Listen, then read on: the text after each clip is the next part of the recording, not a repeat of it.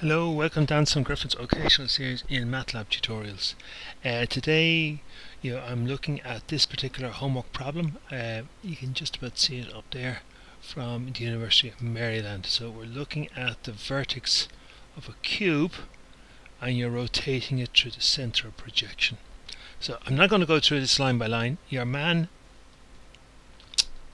or the student derives the formula here. So x prime and y prime are the new coordinates, f is the focal length, and then uh, i and k are the original values, which we'll have a look at in a second. So, just so down there, just so you have a chance to see this on YouTube, he proves the formula. Again, I'm not too interested in how he proved it. And then we're to do it in MATLAB here. So we have the image here, where the mouse is. We're rotating it by whatever 10 degrees or 10 radians doesn't really matter. And you can see the result over here and then when this bit here we want to fill the missing bits with white or black or green or whatever it is in this particular case it's white. Excuse me sorry for that. So we're looking this is quite complicated.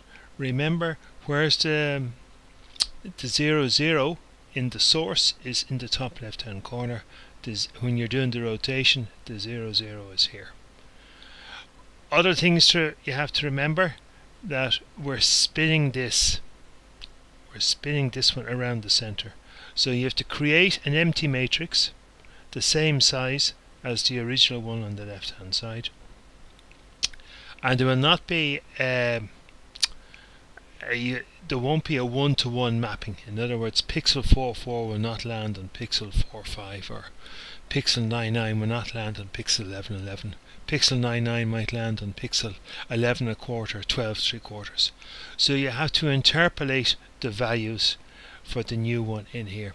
So in this solution here, uh, the student did bilinear interpolation. Now in MATLAB this is very simple, you can just use IM rotate and then in IM rotate you can select whether it's bilinear interpolation or whether it's cubic interpolation. Or for that matter you can just do a you know the nearest neighbor and obviously the nearest neighbor would be quickest bilinear would be second quickest and uh, cubic by cubic would be the slowest or third quickest whichever way you want to look at it.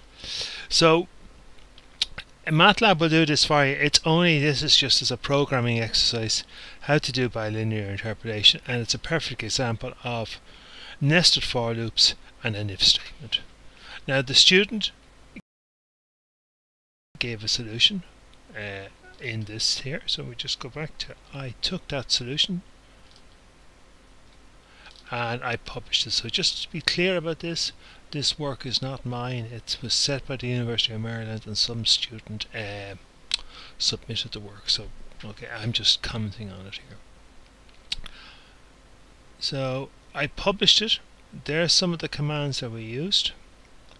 As before, we cleared the screen, we cleared the workspace, and we closed all figures. We read in the figure. Now I read in I did a screen grab of the solution which is to be honest fairly blurry on my screen so that's why I showed the original one remember if you want to get it it's on the web at the University of Maryland uh, CMSC 828D homework 3 etc so and that's what we want to get so I did a screen grab of that myself and then I'll just comment on this now. I might do it in great detail. So we read in the source image which is flowers. Uh, we convert it to grayscale and remember in the the native format is uint8 unsigned integer 8 to allow you to take the values from 0 to 255 now because we're spinning and we're taking half values and quarter values etc we have to do a cast operator here to double we set up the initial parameters, the focal length is 250. There's our angular rotation.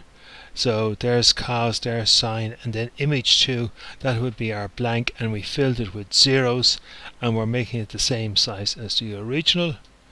And remember, in these four lines here, remember the center of the image, just flick back here.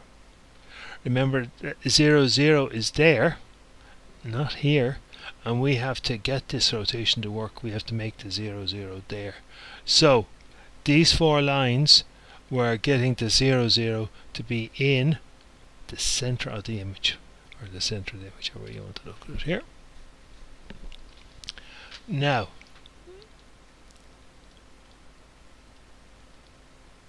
slow down here a little can I get everything in one go? So we have a nested for because remember you have to go along row 1 column 1 row 1 column 2 row 1 column 3 row 1 column 4 row 1 column 5 row 1 column n row 2 column 1 row 2 column 2 row 2 column 3 row 2 column 4 row 2 column whatever you're having row 3 column 1 etc now if you're new to nested for loops and this is a mystery sorry yeah I just don't yeah this is not the place to do it in that level of detail. So we have a pair of nested for loops and we want to go through it here. We're getting here on the, the formula that your man derived. Uh, we're getting the new values of x and y. Okay and then remember row 1 it's just to get the position. It's remember this is to work out because we're going from the center of the image. We check here whether the new values are inside um, the image ID and if they are. Now you have to do some bilinear interpolation so you're probably saying to yourself you went a little quickly through that Anselm so just I mentioned it before.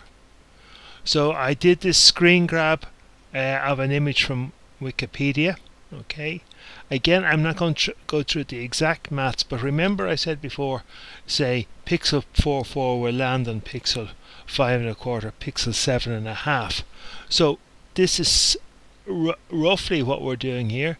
So just say the pixel lands here in green. Well you have to work out the what these two y values here. You have to linearly interpolate the value there where here you have to linearly interpolate. I think I may have said y there. And these are x's so there's the x there's the x. Go away. You linearly interpolate the x value. You linearly interpolate the y value. And then you get the final value here. So you have to do work out uh, the weighted value. Now if you take it bicubic um, you get a more accurate answer but obviously it's more computer intensive and the programming is a bit more detailed. So in this if statement here we're doing the linear interpolation I'm going to leave it there for you to see because I'm not going to go through it line by line. It's there. If it's outside uh, where am I gone? If it's outside uh, you set the intensity to 255 to white and then there you've the image rotate the new image will be whatever the intensity value is that's derived from there okay? And you've done a little backward mapping there. Sorry about that popping up. So there's that bilinear interpolation again. Carry on. I'm just doing the subplots down here. There's the read in image and there's the one that's rotated hope that's okay. Hope that helps a little and thanks for listening. Bye